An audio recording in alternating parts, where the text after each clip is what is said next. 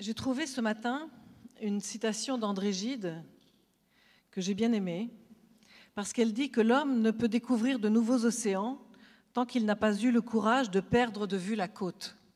Quand j'étais petite, je rêvais de découvrir le monde, je voulais voyager, je voulais, j'avais décidé que j'aurais vu avant de mourir tous les pays du monde. Donc j'allais devoir partir sur les océans. Et donc je me suis dit qu'il allait falloir que j'ai le courage de perdre de vue la côte.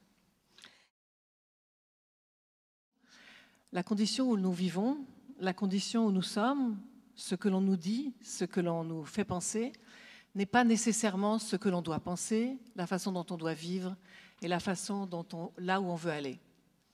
Et que donc, il faut penser différemment et vivre différemment.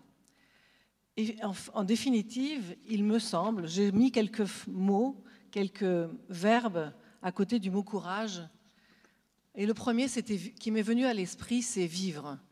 Parce que pour vivre, il faut avoir du courage. Mais vivre, c'est aussi prendre des risques. Et pour prendre des risques, prendre des risques, c'est aussi avoir du courage. C'est prendre des risques parce que, euh, comme je le disais avant, il faut il me semble qu'il faut euh, penser différemment et parfois accepter la possibilité de perdre. Accepter la possibilité de perdre, c'est-à-dire accepter la possibilité de se tromper. Accepter de perdre, c'est aussi accepter la possibilité de recommencer, de se remettre en question, de, de, penser à nouveau différemment et en même temps de euh, pouvoir décider d'aller ailleurs, d'évoluer, de bouger et donc toujours de vivre. Et je pense que c'est ça là, le courage du projet.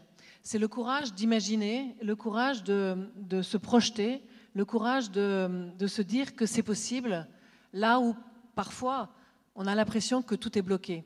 C'est le courage de se dire que, justement ce n'est pas impossible et que même si 20 euh, personnes en face de vous vous disent que non, c'est pas possible, eh bien, c'est de trouver quand même, en cherchant le chemin par lequel passer pour, aller pour passer de l'autre côté et aller plus loin.